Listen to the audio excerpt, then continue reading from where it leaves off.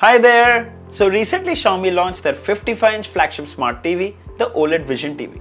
And I've been using this for about two weeks now, so I'll share my experiences, the good, the not so good, so you can decide if this TV is worth your money or not. Actually, this review would be complete if I just answered all the questions that everyone has been asking me ever since I posted that unboxing and impressions video. If you haven't watched it, I highly recommend you do because it's very detailed. I've spoken at length about the display, the build quality, the design, the port placement, the features, OS optimization, PatchWall and even the sound quality. You can click the card up here. I'll leave the link for that video in the description. So we'll cover this review from an OLED TV's buyer's perspective and along with that I'll share my experiences as well.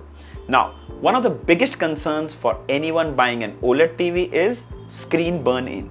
And for those who don't know, Unlike LED TVs and QLED TVs that have backlight, OLED TVs don't have backlight. Each pixel is self-emitting light, hence the name Organic Light Emitting Diode. Now, the screen burn happens when, for example, if you let an OLED TV display a static image for hours at a stretch, or when you're watching a news channel every day for months back to back, and there's a channel logo and the ticker which is always present. Now that can occasionally exhibit something called as image retention. It's called screen burn. Now it's caused when OLED pixels have their normal brightness permanently diminished to a lower state. Now firstly this is a very very rare occurrence especially now that OLED TVs have evolved drastically in the last few years. Screen burn might sound like a big deal but trust me it ain't anymore. Companies are very well aware of the situation and they have taken measures to make sure it never happens. Like if there is a channel logo, it automatically identifies it and it reduces the brightness in this area to prevent burning. Then it has this feature called pixel shift. It basically shifts the image after a certain amount of time to prevent that image retention. And that's totally invisible to the naked eye. And this too helps increase the life of the OLED panel. See, screen burns should be the least of your concern with these new OLED TVs.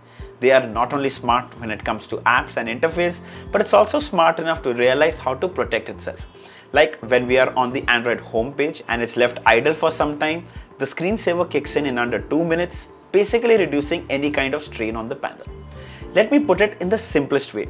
If you're going to use an OLED TV like a regular TV, as in to watch movies, TV shows, gaming, news channels, or your favorite sports, you can forget about any kind of screen burn issues. Absolutely no problem. But if you're going to place a static image for long durations, like at a retail store or at an office, I suggest you go in for an LED TV. It will also be cheaper.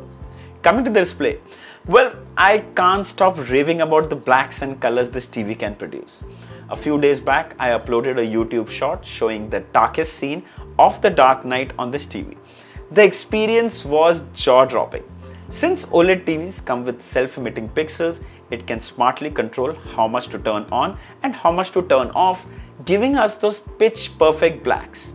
The viewing experience on an OLED TV is unparalleled to any LED TV or even a theater for that matter. Trust me, seeing is believing.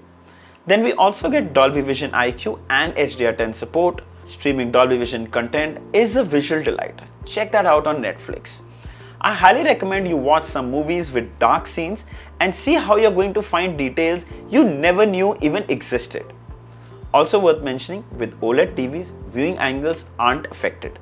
It looks exactly the same either you sit on the side or in the center, they are just spot on. Something no LED can do. Finally, I would like to conclude if you are a movie buff like me, OLED TV is the way to go. No two doubts about that. For sports enthusiasts, it also comes with MEMC on board so you can turn it on from the settings for a super smooth viewing experience. You won't miss a single frame. However, I suggest you turn motion smoothing off while watching a movie. Now the OS overall is very well optimized thanks to 3GB of RAM and 32GB storage. It's also running the latest Android TV 11 OS. Then yes, the much loved PatchWall. Lots and lots in store here. Discover new content, there are live channels, there is quick access to news, there's section at the top dedicated for movies, TV shows, sports, kids content. There is just so much here. However, there are some small things I wish they could improve, like I wish we could rearrange these apps on the home page. And of course, the top section where we can see movies, TV shows, I wish we could custom arrange them as well. Again, these are not deal breakers, just suggestions. Then we also get the Mi Home app integration. It lets me access my Mi security camera on the big screen and I can even pan using the Xiaomi TV remote. It's amazing. Now Patchwall is packed with content and above all the most gorgeous smart TV interface I've seen. And on an OLED TV, it's even more striking. Alright, now a lot of people have repeatedly asked me about brightness levels. Well, Xiaomi doesn't share the peak brightness level of any of their TVs and I'm sure they have their reasons for that. Also, let me tell you that there are other TV companies that also don't share. Frankly, for me, it's never about peak brightness. It's always about the experience, the picture tuning, the color reproduction. The whole experience of the movie should be more important than just the brightness alone. And I'm sure you might think there's no harm in sharing those numbers when you can share others, you can even share about that. You got a point. However, I can confidently say that the images look really bright, they're crisp, they're very nice, and especially now that it can produce super deep blacks, the subjects stand out even more, making it even more brighter. Then this OLED TV comes with 60Hz refresh rate, which initially seemed disappointing considering a lot of people, including myself, was expecting 120Hz. But then I don't really game, so it wouldn't really matter to me. Now, unless you have the latest PS5 console gaming, which would take advantage of the 120Hz, it wouldn't be a really big deal. Also, it comes with auto low latency mode and though I played very briefly, the experience was pretty satisfying. Then the Xiaomi OLED TV aces in the sound department. In fact, it comes with just 30 watt sound output, which might not sound a lot, but trust me, it gets loud. It has 8 drivers with Dolby Atmos support and it provides really really good audio fidelity. It sounds rich, it sounds bassy, it's sharp, it's crisp and it's also got that good surround effect. I'm sure most of those who would be buying this TV probably wouldn't even need a soundbar. You stopped Eddie Francesco. You stopped Brad Simmons. You let me worry about that.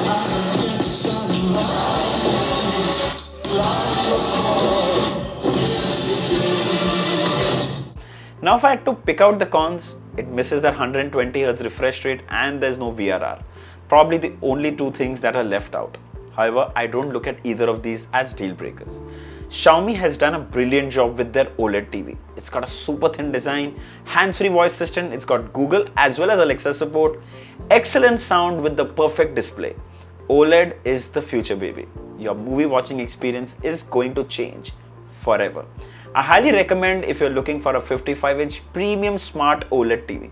It's going on sale on 26th of May and it's going to be priced at 89,999. I think that's one of the cheapest OLED TVs you can get. However, there's another deal. If you have an HDFC bank card, you can get a flat 6000 off, bring the price down to 83,999. I think that's a steal for an OLED TV. If you like to buy one, you should definitely check it out. I'll leave the links below in the description. Also, I highly recommend you watch the unboxing and impressions video. There is so much more different in that video that we've not covered here. That is going to be a totally different experience. The link is in the description. Do check it out. So I hope this video was helpful. If there are any questions, leave them down below and I shall definitely answer them.